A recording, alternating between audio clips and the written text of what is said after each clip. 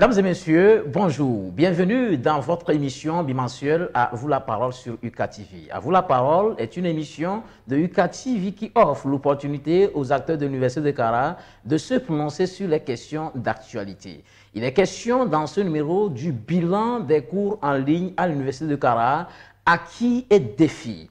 Eh bien, depuis le 4 mai 2020, l'Université de Cara a opté pour une formation hybride les étudiants suivent en partie ou intégralement certaines unités d'enseignement en ligne. L'heure est au bilan. Quel bilan peut-on dresser de ces cours en termes de participation des étudiants aux enseignements à distance et en termes de résultats? Pour dresser le bilan des cours en ligne à l'Université de Cara, nous avons l'immense plaisir de recevoir Dr Moutouré Yentougle. Il est enseignant-chercheur à l'Université de Cara il est maître assistant en sociologie urbaine et surtout, il est le coordonnateur de la cellule d'appui à l'innovation pédagogique et à la formation à distance. Docteur Moutouré Yentoul, bonjour. Bonjour collègue. Merci d'avoir accepté notre invitation. C'est un plaisir. Docteur, lorsqu'il s'agit des cours en ligne à l'Université de Cara, et ce depuis euh, deux ans, eh bien, beaucoup de questions se posent en termes de résultats, en termes de bilan, la première question, pouvez-vous nous situer un peu le contexte dans lequel les cours en ligne ont été institués à l'Université de Cara Alors, depuis 2019, le président de l'Université de Cara, le professeur Komla Sanda, a initié la rédaction du plan euh, national de développement de l'Université de, Cara, le PNDUK. C'est à partir de là que c'était déjà pensé hein, la mutation numérique de l'Université de Cara, ce qui incluait Hein, la transformation de la pédagogie, mais aussi de l'administration. Euh, fort heureusement ou malheureusement, le contexte sanitaire qui est survenu euh, en 2020 a accéléré le processus sans que euh, l'université n'ait forcément les moyens nécessaires pour entrer. C'est pour ça que autour de mai de, de, de l'année 2020, les cours ont démarré avec Telegram avant que justement l'institution ne pense à une meilleure plateforme pour déployer le distanciel et donc adopter la plateforme Moodle à l'Université de Cara. Donc le PND de l'UCA a déjà été validé et adopté le 20 janvier 2020, hein, avant même la, fermeture euh, de l'université pour cause de contexte sanitaire. Alors, docteur, voilà, tu viens de décrire un peu le contexte dans lequel euh, les cours en ligne ont été institués. Dites-nous, dans votre réponse à la première question, vous avez fait allusion au Telegram. Eh bien, dites-nous, du Telegram à la plateforme Moodle, quel bilan peut-on dresser en termes de participation des étudiants à des enseignements à distance donnés par les enseignants? Alors, euh, les évaluations, la première évaluation a été faite euh, avec la plateforme, enfin avec Telegram, où euh, on a constaté quand même un effort des uns et des autres, malgré, malgré la fracture numérique qu'on peut constater ici à l'université de Cara. pour ce qui est de la plateforme Moodle, euh, nous avons la possibilité effectivement de voir le taux de participation, la proportion de participation euh, sous quatre volets. D'abord, le niveau d'inscription des étudiants à la plateforme. à ce jour, euh, nous avons sur la plateforme 23 000 utilisateurs qui sont régulièrement inscrits, hein, qui pas forcément accèdent, mais qui quand même se sont inscrits sur la plateforme. Alors, en moyenne, quand nous consultons le taux de participation euh, ou de fréquentation, je vais dire, euh, à la plateforme, euh, nous avons autour de, 50 000. Je compte donc les entrées et les sorties. Chaque fois qu'un étudiant entre, consulte le contenu pédagogique, ça mentionne donc la moyenne de toutes les unités d'enseignement tourne autour de 50 000. C'est là que nous comprenons donc l'intérêt de l'apprentissage en distanciel où l'apprenant a la possibilité de revisiter le contenu pédagogique qui est déroulé ensuite, même s'il n'était pas disponible pendant que euh, l'enseignant délivrait son contenu pédagogique. Et nous avons justement ces visioconférences, ces activités synchrones que l'enseignant réalise, où nous avons beaucoup plus de difficultés à évaluer le taux de participation. Euh, parce qu'une première évaluation a montré que derrière un téléphone ou un individu connecté, se cachent euh, au minimum trois autres étudiants. Ils essaient de, se former un peu de réseau hein, pour suivre les, cours sur un seul téléphone portable ou sur une machine. Ce qui fait que euh, si on a sur euh, la page qui indique que 10, 20 ou 100 sont connectés, il va falloir multiplier ce chiffre par X. Euh, multiplier de façon systématique ne donne pas non plus des, données fiables. Voilà pourquoi le responsable assurance qualité interne est en train justement de faire une évaluation en profondeur pour essayer de voir hein, l'efficacité de la plateforme dans la formation de, nos apprenants et surtout comparer avec le taux de réussite euh, à l'université de, de.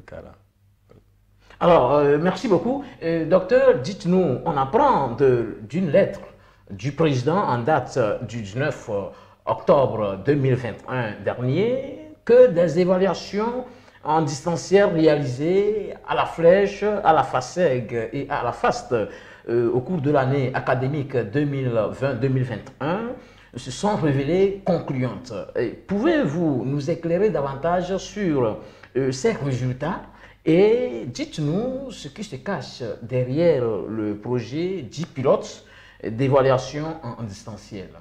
Oui, euh, c'est l'un des plans d'action du président de l'université de déployer le distanciel dans, dans, toutes les catégories ou dans toutes les activités, notamment les évaluations en distanciel. L'année dernière, c'est donc euh, l'équipe pédagogique qui a expérimenté, puisque nous sommes pour la plupart des enseignants-chercheurs, nous avons fait l'expérience par rapport à nos unités d'enseignement et sur des grands groupes et des petits groupes. Des grands groupes, on a eu des groupes euh, au-delà de 600 et on a des petits groupes de, de 20, de 50, etc.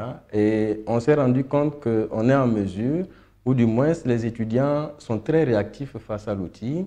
On a eu un, taux de participation euh, presque à 100%, à 100 pour les petits effectifs. Et pour le grand effectif, on était à plus de 98% de participation. On s'est rendu compte également que le, taux de réussite est, très acceptable. Pour le grand groupe, on, dépassait les 75% de réussite, c'est-à-dire de validation de l'unité d'enseignement. Et pour les petits groupes, on est même à près de, 90-95% de, validation. L'objectif, c'était de voir la réaction, si vous voulez, le comportement des étudiants. Euh, est-ce qu'ils arrivent à, s'approprier l'outil? Et on a découvert ou on s'est rendu compte qu'ils réussissent, ils maîtrisent bien l'outil quand on le leur enseigne. Voilà pourquoi le, Monsieur le Président a souhaité cette année qu'on le déploie davantage hein, auprès d'autres enseignants et il a été identifié par niveau une unité d'enseignement pour faire l'expérience, hein, pour voir quelle est la réaction des apprenants. Euh, est-ce que beaucoup d'autres euh, ne rencontrent pas des difficultés. Et pour cette phase pilote, euh, il a été mis à notre disposition un équipement. Il s'agit de la connexion Internet. L'étudiant ne fera pas usage de sa propre connexion. Nous allons installer la connexion Internet dans les salles d'évaluation parce que pour justement une première année d'évaluation, hein, nous allons faire du présentiel distanciel. Hein, les étudiants qui le souhaitent seront installés dans une salle d'évaluation comme si c'était une évaluation en présentiel mais utiliseront donc leur machine ou leur téléphone pour faire l'évaluation. Donc on mettra à leur disposition euh, la connexion Internet pour qu'ils travaillent là-dessus. Et actuellement, nous avons déjà engagé le, le processus, c'est la formation des différents acteurs. Nous avons accompagné les différents enseignants qui, sont, qui font partie de la phase pilote. On les a formés, ils ont conçu quelques euh, tests d'évaluation. Et nous avons circulé dans les différentes salles avec notre dispositif de connexion pour que les étudiants s'exercent devant nous afin que nous puissions relever les difficultés qu'ils rencontrent. Donc on passe au minimum deux fois par salle pour relever les difficultés des apprenants et voir est-ce que véritablement on peut se projeter vers l'évaluation en distanciel. Et justement, comme c'est une phase pilote, on a maintenu le fait qu'on reçoive les étudiants en salle pendant qu'ils composent, qu'on puisse voir leurs réactions les difficultés qu'ils rencontrent, les corriger avant de, de penser donc à, à, élargir le, le, projet à d'autres enseignants un peu plus tard si nécessaire. Élargir le projet à d'autres enseignants euh, un peu plus tard si possible, mais cela veut dire que dans les prochaines années, à l'avenir, les étudiants vont recevoir des enseignements en distanciel, ils vont composer en ligne, Comment, qu'est-ce qui se cache véritablement derrière ce projet pilote? Non, euh, il y a des unités d'enseignement qui peuvent s'évaluer entièrement en distanciel et il y en a qui ne peuvent que s'évaluer en présentiel. C'est de faire le sport de voir ou de répertorier ces unités d'enseignement qui peuvent se faire en distanciel ou du moins les enseignants qui veulent déployer leur évaluation en distanciel et nous, on, se chargera de les, accompagner. Il faut euh, retenir aussi que l'objectif d'intégrer le distanciel, c'est d'alléger un peu le travail de l'enseignant. Euh, face à la massification dans nos universités, vous le savez, l'université de Cara atteint aujourd'hui les 22 000 étudiants. Hein, et des, départements sont à, à 1500, 1800 étudiants au semestre 1. Alors, ce qui fait que ça fait une charge de travail énorme pour euh, l'enseignant, ce qui limite la possibilité de semestrialisation à l'université de Cara. Donc, les années se chevauchent euh, et nous n'avons pas la possibilité d'avoir des congés intersemestres. Donc, c'est essentiellement pour réduire les souffrances universitaires des enseignants, mais aussi des étudiants. Hein, c'est des, deux côtés. Et faire en sorte que euh, l'enseignant qui aujourd'hui a de très lourdes responsabilités, charges, puisse s'occuper d'autres choses pendant que justement la machine fasse le, travail dans la mesure du possible. D'accord. Eh bien, docteur, dans l'une de vos explications, vous disiez derrière un ordinateur, euh, ou disons derrière un ordinateur se trouvent deux ou trois étudiants qui se connectent pour suivre les cours en ligne.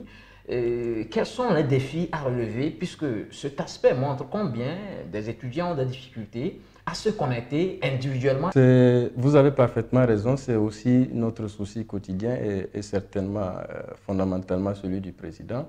Euh, c'est essentiellement que l'université soit en mesure de réduire la fracture numérique, je l'ai dit. Faire en sorte qu'aujourd'hui, tous les étudiants puissent avoir accès à un outil pour suivre les cours euh, en ligne. Alors, euh, je pense que de, tous les côtés, on réfléchit. Actuellement, vous aurez constaté que sur le campus sud de l'université, hein, les infrastructures sont en train d'être améliorées pour faciliter ou rendre fluide la, connexion. Le ministère a lancé aussi récemment les universités sans les murs hein, pour pouvoir accompagner les universités dans ce déploiement du, distanciel. Donc, c'est essentiellement euh, réduire euh, la fracture numérique pour que chaque étudiant soit au même niveau, euh, ait les mêmes capacités pour suivre les, cours en distanciel et justement faire en sorte de, renforcer les, infrastructures à l'université de Cara, que les enseignants aient des équipements nécessaires pour pouvoir dérouler très facilement leur contenu pédagogique, que l'administration ait aussi le matériel nécessaire parce qu'il faut des serveurs, il faut des, euh, des données, des conservations des données, Hein, tout ceci, c'est des, besoins connus sur lesquels euh, le, président travaille déjà, euh, déjà quelques années. Et nous espérons qu'à euh, à la fin de cette année ou avant même la fin de cette année, la plupart ou le, maximum sera fait pour faciliter l'apprentissage en distanciel, tant pour les enseignants que pour les étudiants. Docteur euh, Yentougle, nous tirons pratiquement la fin de ce numéro. Avez-vous un mot à l'endroit de toute la communauté universitaire, particulièrement des étudiants et des enseignants? Alors, euh, toute innovation euh, est toujours difficile, hein, mais l'essentiel, euh, c'est d'arriver à faire l'expérience. Je pense que c'est encourager les uns et les autres à faire l'expérience euh, avant de constater qu'il y a éventuellement des, difficultés qu'on peut corriger au fur et à mesure. Hein. Sans avoir fait l'expérience, logiquement, on ne pourra pas grandir. Les autres universités sont aujourd'hui euh, en avance parce qu'elles ont accepté l'innovation, même si elle est difficile. C'est encourager les uns et les autres à, adhérer à la nouvelle politique, euh, aux nouvelles transformations, pour qu'ensemble on réussisse cette mutation qui n'arrange que tous les acteurs universitaire euh, euh, et justement le, Togo. Mesdames et messieurs, vous avez bien compris, il faut adhérer et accepter l'innovation malgré les difficultés. Chers téléspectateurs de UKTV, nous voici à la fin de ce numéro. Merci pour votre fidélité à UKTV. Gardez bien l'espoir quoi qu'il arrive.